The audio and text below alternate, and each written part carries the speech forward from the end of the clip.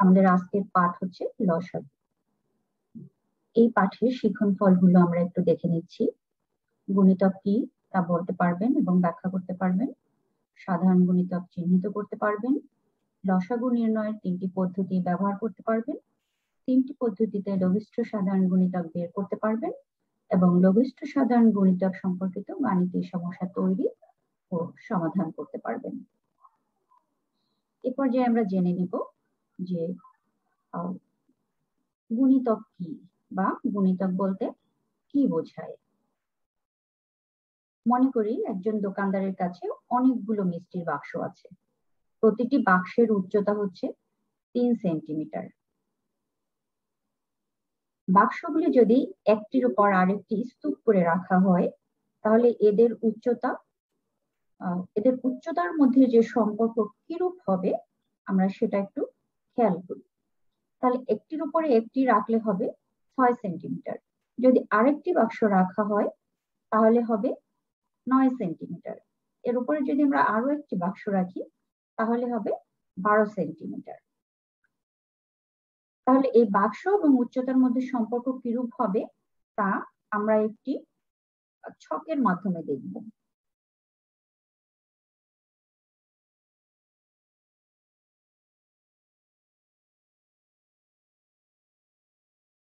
দেখেন, এখানে বাক্সের সংখ্যা দেয়া আছে এবং উচ্চতা দেয়া আছে। তাহলে একটি বাক্সের উচ্চতা যদি তিন সেন্টিমিটার হয়, তাহলে দুইটি বাক্সের উচ্চতা হচ্ছে ছয় সেন্টিমিটার। তিনটি বাক্সের উচ্চতা হচ্ছে নয় সেন্টিমিটার, চারটি বাক্সের উচ্চতা হচ্ছে বারো সেন্টিমিটার। পাঁচটি বাক্সের উচ্চতা হচ্ছে পনেরো সেন্টিমিটার, ছয়টি বাক্সের উচ্চতা হচ্ছে আঠারো সেন্টিমিটার, সাতটি বক্সের উচ্চতা হচ্ছে একুশ সেন্টিমিটার এবং আটটি বাক্সের উচ্চতা হচ্ছে চব্বিশ সেন্টিমিটার। এখানে দেখা যাচ্ছে যে একটি বাক্সের উচ্চতা তিন সেন্টিমিটারকে বাক্সের সংখ্যা দ্বারা গুণ করার ফলে স্তূপকৃত বাক্সের মোট উচ্চতা পাওয়া যাচ্ছে। অর্থাৎ তিনকে কোন সংখ্যা দ্বারা গুণ করার ফলে তিন, ছয়, নয়, বারো, পনেরো, আঠারো, একুশ, চব্বিশ এই সংখ্যাগুলো গঠিত হয়েছে।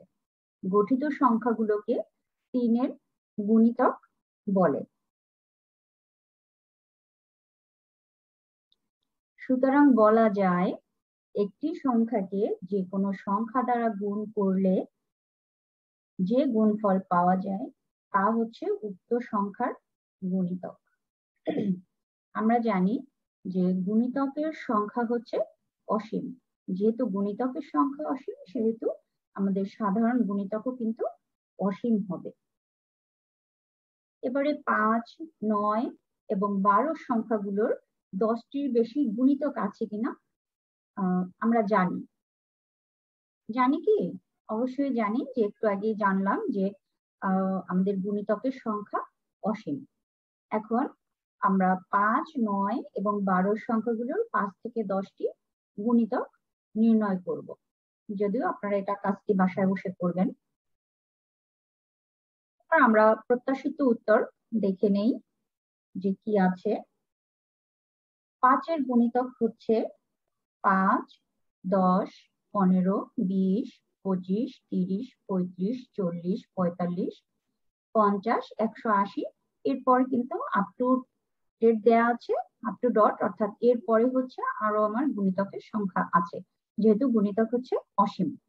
এবং নয়ের গুণিতক হচ্ছে নয়, আঠারো, সাতাশ, ছত্রিশ, পঁয়তাল্লিশ, চুয়ান্ন, তেষট্টি, বাহাত্তর, একাশি, নব্বই, একশো আশি ডট ডট ডট এরপর আমার আরও গুণিতক আছে। বারো এর গুণিতক হচ্ছে বারো, চব্বিশ, ছত্রিশ, আটচল্লিশ, ষাট, বাহাত্তর, চুরাশি, ছিয়ানব্বই, একশো আট, একশো বিশ, একশো আশি। অর্থাৎ এর পরও কিন্তু আমার আরও অসংখ্য গুণিতক আছে। তাই আমরা জানি যে একটি সংখ্যার গুণিতকের পরিমাণ আসলে অসংখ্য এবং অসীম। এবার আপনারা কিছু গুণিতক নির্ণয় করেন যে চারের গুণিতক, আটের গুণিতক এবং নয়ের গুণিতক। এরপর হচ্ছে আমরা সাধারণ গুণিতক নির্ণয় করব। সাধারণ গুণিতক নির্ণয় করতে হলে আগে কিন্তু আমাকে গুণিতক নির্ণয় করতে হবে। তাহলে চার এবং ছয়ের গুণিতক কতগুলো হতে পারে? আমরা একটু দেখি চার এবং ছয়ের গুণিতকগুলো চার এবং ছয়ের গুণিতক। চারের গুণিতক হচ্ছে চার, আট, বারো, ষোলো, বিশ, চব্বিশ, আঠাশ, বত্রিশ, ছত্রিশ, চল্লিশ, চুয়াল্লিশ, আটচল্লিশ বাউান্ন ছাপ্পান্ন, ষাট এবং অসংখ্য। তেমনি ছয়ের গুণিতক হচ্ছে ছয়, বারো, আঠারো, চব্বিশ, তিরিশ, ছত্রিশ, বিয়াল্লিশ, আটচল্লিশ, চুয়ান্ন, ষাট এবং অসংখ্য। এখন আমরা চার এবং ছয়ের গুণিতকগুলো পর্যবেক্ষণ করে আমরা দেখতে পাচ্ছি এর মধ্যে কমন সংখ্যাগুলো কি কি আছে। অর্থাৎ সাধারণ গুণিতক। দুটোর মধ্যে যে কমন সংখ্যাগুলো আছে, চার এবং ছয়ের গুণিতকের মধ্যে সেগুলো হচ্ছে আমার সাধারণ গুণিতক। তাহলে সাধারণ গুণিতক হচ্ছে চার এবং ছয়ের মধ্যে বারো চব্বিশ, এরপর হচ্ছে ছত্রিশ, এরপর আটচল্লিশ ষাট আছে, এরকম আরও অনেক আছে। যেহেতু আমার গুণিতকের সংখ্যা অসীম, সেহেতু আমার সাধারণ গুণিতকের সংখ্যাও কিন্তু অসীমই হবে। তাহলে চার এবং ছয়ের সাধারণ গুণিতক পেলাম বারো, চব্বিশ, ছত্রিশ, আটচল্লিশ। এখন এইগুলোর মধ্যে আমরা পর্যবেক্ষণ করে দেখলাম যে সাধারণ গুণিতকের মধ্যে সবচেয়ে ছোট যে সংখ্যাটি, সেটি হচ্ছে আমার লসাগু বা লঘিষ্ঠ সাধারণ গুণিতক। তাহলে সেটা পেয়েছি আমরা বারো। সবচেয়ে ছোট সংখ্যাটি হচ্ছে বারো। তাহলে এই যে চার এবং ছয়ের আমাদের লসাগু হলো বারো। সুতরাং বলা যায় যে লঘিষ্ঠ সাধারণ গুণিতককে সংক্ষেপে আমরা লসাগু বলতে পারি। আর লসাগু নির্ণয়ের উপরোক্ত যে পদ্ধতি, এই পদ্ধতিকে আমরা কিন্তু পর্যবেক্ষণ পদ্ধতি বলি। এবার লসাগু নির্ণয়ের যে তিনটি পদ্ধতি আছে, সেই তিনটি পদ্ধতি সম্পর্কে আমরা জানব। এতক্ষণ যে পদ্ধতিটা দেখেছি, সেটা হচ্ছে পর্যবেক্ষণ পদ্ধতি। এরপর হচ্ছে মৌলিক উৎপাদক পদ্ধতি। মৌলিক উৎপাদক পদ্ধতিতে প্রথমে সংখ্যাগুলোকে আমরা মৌলিক উৎপাদকে বিশ্লেষণ করি।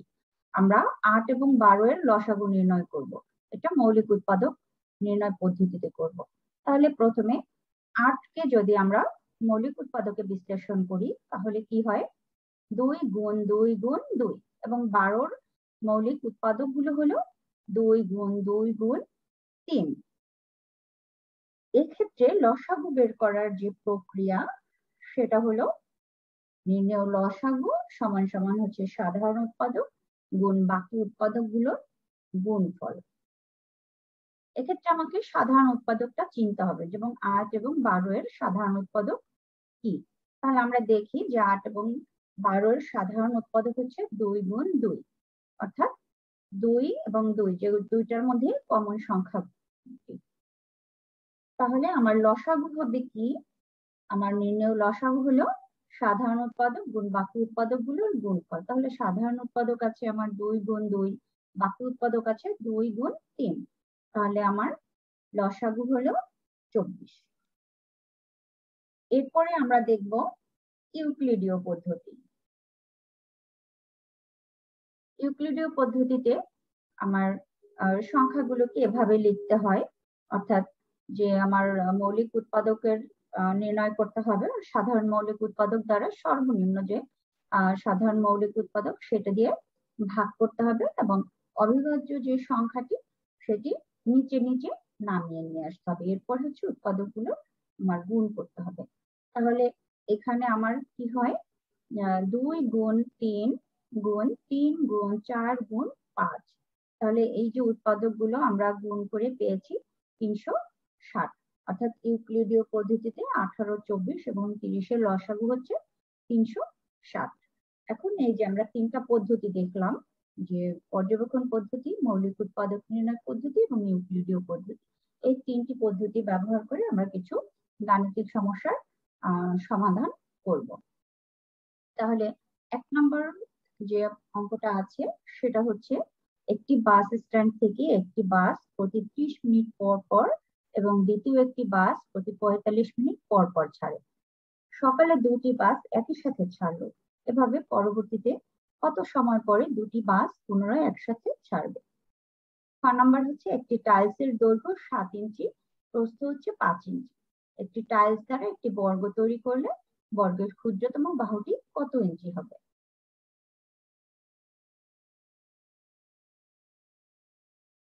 এবং গ হচ্ছে, দুই ঘণ্টার মধ্যে একটি প্রতি দশ মিনিট পর পর এবং আরেকটি প্রতি ত্রিশ মিনিট পর পর বাজে। ঘণ্টা দুটি একই সময়ে বাজবে, পরবর্তী কত মিনিট পরে পুনরায় একসাথে বাজবে?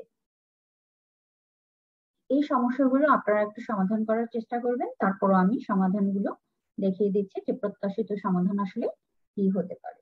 ক নম্বরটা হচ্ছে, প্রথম বাসটি তিরিশ মিনিট পর পর ছাড়ে। তাহলে প্রথম বাস যখন তিরিশ মিনিট পর ছাড়বে, এরপরে হচ্ছে সাত মিনিট পরে ছাড়বে, তারপর নব্বই মিনিট পর ছাড়বে, এরপর একশো বিশ মিনিট, একশো পঞ্চাশ মিনিট, একশো আশি মিনিট পর পর ছাড়বে। এবং দ্বিতীয় বাসটি বলা আছে যে পঁয়তাল্লিশ মিনিট পর পর ছাড়ে।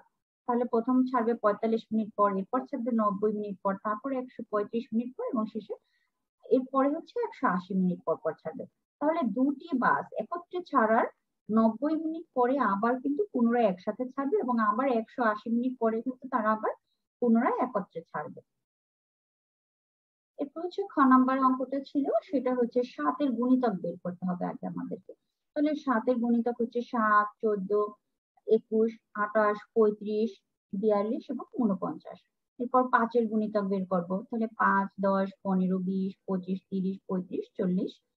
এক্ষেত্রে আমাদের সাধারণ গুণিতকটা নির্ণয় করে নিব। সাধারণ গুণিতক হচ্ছে এখানে আমার পঁয়ত্রিশ। যেহেতু একটি গুণিতক আছে এর এই সংখ্যাগুলোর মধ্যে, যেটি নিয়েছি তার ভিতরে তার ভিতরে হচ্ছে আমার লসাগু হচ্ছে পঁয়ত্রিশ, অর্থাৎ ক্ষুদ্রতম যে বাহুটি, সেই বাহুটির হচ্ছে পঁয়ত্রিশ ইঞ্চি আমরা এখানে ডায়াগ্রাম থেকেও বোঝানো আছে।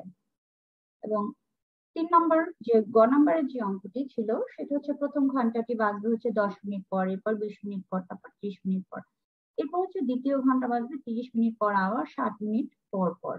তাহলে দুটো ঘণ্টা একত্রে কয় মিনিট পর পর বাজবে?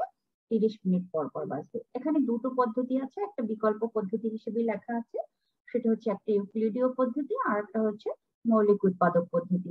যে পদ্ধতিটা আপনাদের সুবিধা হয়, সেই পদ্ধতিতেই আপনারা কিন্তু এই অঙ্কগুলো করতে পারবেন। এক্ষেত্রে মূল্যায়নের জন্য কিছু প্রশ্ন আছে। যে গুণিতক কি, লসাগু কি, এবং লসাগু নির্ণয়ের পদ্ধতিগুলো কি? আপনারা আরও একটা প্রশ্ন, সেটা হচ্ছে কোন ধরনের সমস্যায় লসাগু প্রয়োগ করা হয়? আপনারা এই তিন ধরনের যে আমরা গুণিতক পেয়েছি সেইগুলো অর্থাৎ লসাগু। সেই লসাগুর যে তিনটা নিয়ম, এই নিয়ম বা পদ্ধতিগুলো খুব ভালোভাবে আয়ত্ত করবেন এবং এই সম্পর্কিত যে সমস্যাগুলো আছে, সেই সমস্যাগুলো সলিউশন করবেন। আশা করি এই অধ্যায় থেকে যদি কোনো প্রশ্ন আসে, আপনারা খুব সুন্দরভাবে লিখতে পারবেন। সবাইকে সাথে থাকা